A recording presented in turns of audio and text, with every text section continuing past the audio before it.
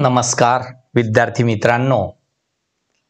आज आपण भाग चार पाठ्यपुस्तकातील क्रमांक सोळा वर असलेली कविता वनवासी. ही कविता तुकाराम धांडे हे प्रसिद्ध कवी यांनी लिहिलेली आहे. प्रस्तुत कवितेचा आशय आणि अं, भावार्थ कवितेचा हा आजच्या या ऑनलाईन तासिकेमध्ये आपण अभ्यासणार आहोत. तर विद्यार्थी मित्रांनो सुरुवातीला आपण तुकाराम धांडे यांचा परिचय पाहणार आहोत. तुकाराम धांडे प्रसिद्ध कवी विविध साप्ताहिके मासिके दिवाळी अंकातून कथा व ललित लेखन निसर्ग व माणूस हा त्यांच्या लेखनाचा आवडता विषय. वळीव हा कविता संग्रह खूप प्रसिद्ध आहे त्यांचा.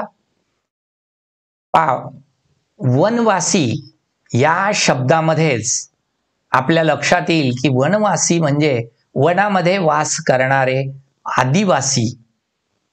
अशा लो लोकांच्या जीवनातील त्यांचं चित्रण प्रस्तुत काव्यामध्ये तुकाराम धांडे यांनी मांडलेलं आहे. आदिवासी त्यांचे डोंगरदऱ्यातील जीवन निसर्ग निसर्गाविषयीचे प्रेम त्यांच्यामधील अतूट नाते यांचे वर्णन प्रस्तुत कवितेतून कवीने केलेलं आहे. वळीव या कविता संग्रहातून प्रस्तुत कविता घेतलेली आहे. तर वळीव हा प्रसिद्ध असा कविता संग्रह आहे त्यांचा. त्यामधील ही कविता प्रसिद्ध अशी कविता आहे. तर विद्यार्थी मित्रांनो आपण त्यांची प्रतिमा अभ्यासली की पाहिलेली आहे आपण त्यांची प्रतिमा. हे तुकाराम धांडे प्रसिद्ध कवी म्हणून प्रसिद्ध आहेत.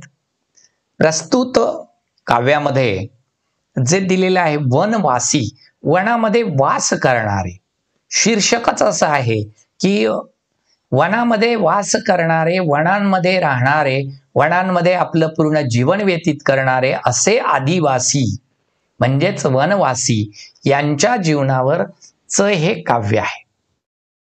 आणि आपल्याला त्याचा आशय अगोदर लक्षात घ्यायचा आहे तर आशय असा आहे की वनांमध्ये राहणारी आदिवासी मुले त्यांचं जीवन त्यांचे खेळ त्यांचे खाणेपिणे व त्यांची उत्साही वृत्ती याचे मनोहारी वर्णन या कवितेत ग्रामीण शब्दकलेत मांडलेला आहे. ग्रामीण शब्दामध्ये मांडण्याचा प्रयत्न तुकाराम धांडे यांनी केलेला आहे. तर हा झाला कवितेचा आशय. आता आपल्याला कवितेचा आशय पाहिल्यानंतर आपल्याला पाहायचा आहे कविता प्रस्तुत कवितेचा भावार्थ. प्रस्तुत कविता आपण आता पाहणार आहोत. तर कवितेचं अगोदर वाचन करूया. आम्ही डोंगर राजाची पोरं कळसू आईची. आम्ही डोंगरातली मुलं आहोत. इथे त्या मुलांबद्दल म्हटलंय डोंगर आमचा राजा आहे. जे वनवासी जे जंगलामध्ये राहतात आदिवासी ज्यांना आपण म्हणतो ते जंगलामध्ये सतत राहतात वनांमध्ये वास करतात ते म्हणतात आमचा राजा कोण आहे? डोंगर आहे. त्याची आम्ही मुलं आहोत. पोरं. आम्ही डोंगर राजाची पोरं कळसू आईची. कळसू आई आमची आई आहे. कळसूबाईचं शिखर आपल्याला माहीत असेल. महाराष्ट्रातलं सर्वात उंच असलेलं शिखर. शिखर म्हणजे उंच असा कडा. सर्वात उंच महाराष्ट्रामध्ये. कुठला आहे तर अहमदनगर जिल्ह्यामधील. कळसूबाईचं शिखर हे महाराष्ट्रात सर्वात उंच आहे. हे लक्षात ठेवायचं. म्हणून आम्ही डोंगर राजाची पोरं कळसू आईची. पा कळसूबाई शिखराचा परिसर आमची परिसर ती आई आहे. आम्ही उघडी बोडकी बाळ परवरा माईची. आम्ही उघडी बोडकी आहोत. म्हणजे आमच्या पायामध्ये ना चप्पल ना अंगात कपडे ना डोक्यावर काही बोडकी बोडक असं म्हणजे डोक्यावर पण काही नाही. आणि अंगात कपडे पण नाही. अशी बाळ परवरा माईची. परवरा म्हणजे प्रवरा नदी. तिथून वाहते. कळसुबाईच्या शिखराजवळून प्रवरा नदी वाहते. तर परवरा माई ती सुद्धा आई म्हटलंय. नदी प्रवरा नदीला आई म्हटलंय त्या मुलांनी. आम्ही डोंगर राजांची पोरं कळसू आईची. आम्ही उघडी बोडकी बाळ परवरा माईची. असं वर्णन इथे केलेलं आहे.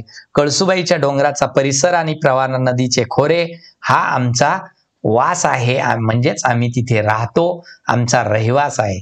घेऊ हातावं भाकर. आम्ही हातावर भाकर घेतो त्यावर भोकरीच्या पाल्याची भाजी ठेवतो वर भाजीला भोकर. भोकर हे एक झाड आहे. आणि वृक्ष आहे त्या वृक्षाला जी पानं आणि जी छोटी छोटी फळं येतात त्याची भाजी बनवली जाते ती खाल्ली जाते ती खातात. काही जणांना आता ते माहीत पण नसेल कारण वृक्ष तोड इतकी झालेली की बरेचसे वृक्ष आता काळाच्या पडद्याआड चाललेत. आपल्याला माहीत पण होणार नाही. असे कितीतरी वृक्षांची वृक्षतोड झालेली आहे ते लुप्त होत चाललेले आहे म्हणून विद्यार्थी मित्रांनो वृक्ष लावा. जे जे भेटतील ते ते आपल्या जिथे जिथे जमीन आहे त्या जमिनीवर मध्ये नाही लावणार तुम्ही.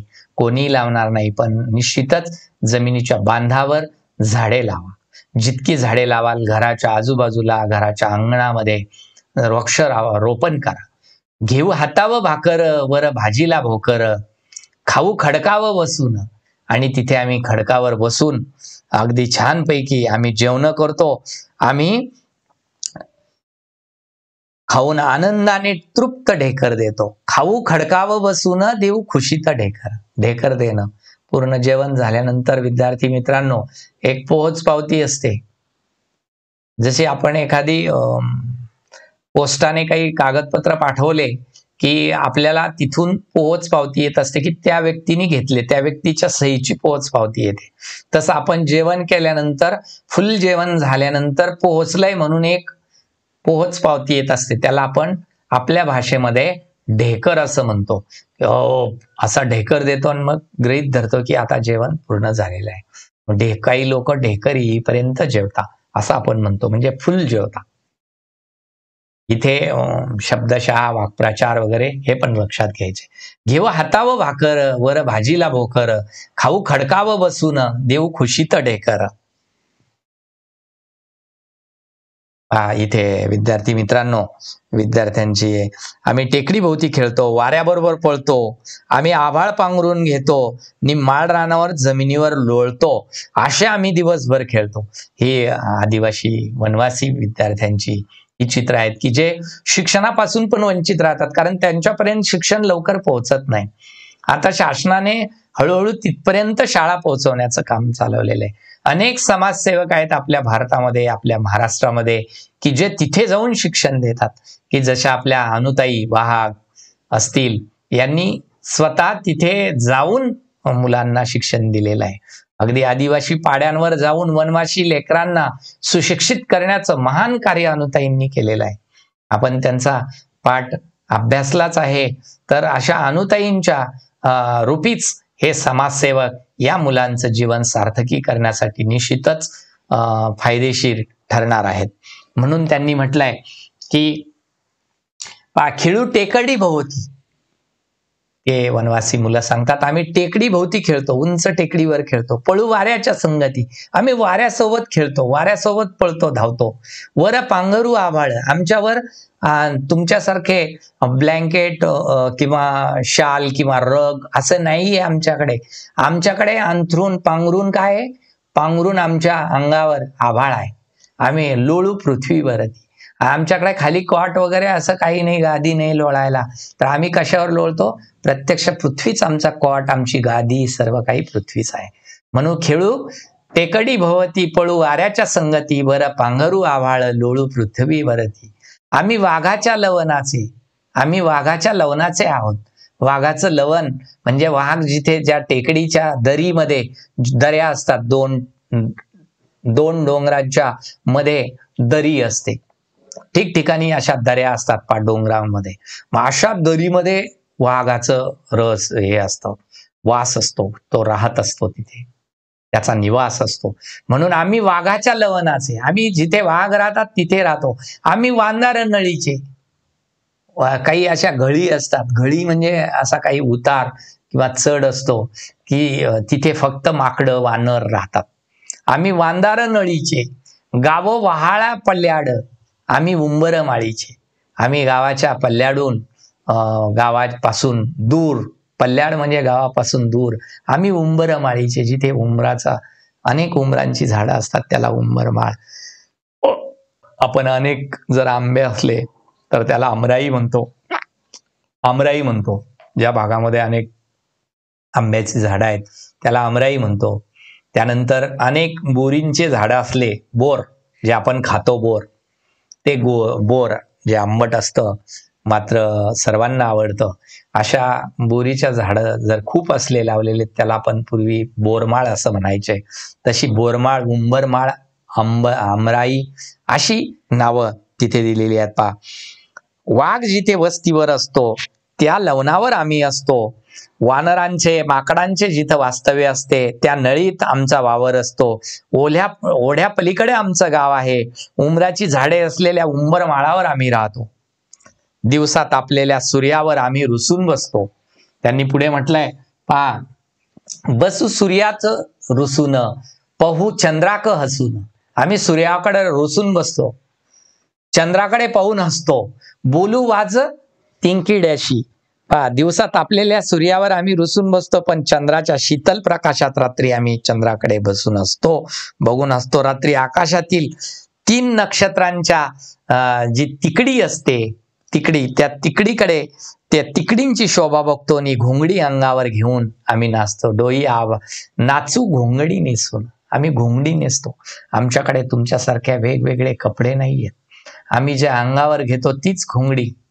म्हणजे जाड जे वस्त्र असतं जे आपण खाली टाकायला किंवा अंगावर घेण्यासाठी वापरतो रात्री. तेच आम्ही घेऊ नेसू घालू आणि आम्ही नाचू.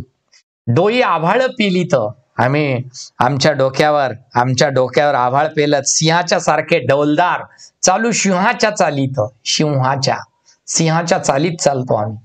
डोई आभाळ पेलीत चालू सिंहाच्या चालीत हिंडू झाडा कवड्या कड्यावरी आम्ही झाडावर कड्यांवर विविध जिथे जायला भीती वाटते. शहरातल्या लोकांना जे तिथे आम्ही त्या कड्यांवर हिंडतो. तुम्ही पाहिलं असेल विद्यार्थी मित्रांनो की जंगलामध्ये विविध चित्रपटांमध्ये दाखवलेली दृश्य आहेत काही की एकदमच आदिवासी असलेला मुलगा तो कशा पद्धतीने जंगलामध्ये जिथे तिथे प्राण्यांशी त्याचं हे असतं प्रेम असतं तिथल्या प्रत्येक प्राण्यांना पशुपक्ष्यांना वृक्षांना तो किती जवळचा वाटतो त्याला ते वृक्ष किती जवळचं करतात त्याला पक्षी प्राणी कसे त्याच्याजवळ धावतात हे तुम्ही विविध कथानकामधून चित्रपटांमधून पाहिलेलं असेल.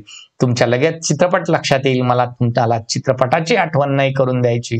विद्यार्थी मित्रांनो तर त्याच्यामध्ये दाखवलेलं ते जे वातावरण आहे त्याच्यामध्ये दाखवलेलं जे कथानक आहे त्या कथानकाचा इथे साम्य आहे या वनवासी मुलांना.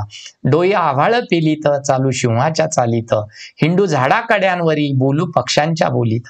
पक्ष्यांचे विविध आवाज आम्हाला काढता येतात.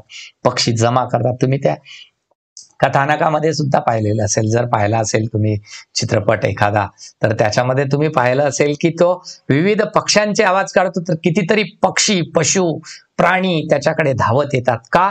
त्याला ती रोजचा त्यांच्यामध्ये आहे.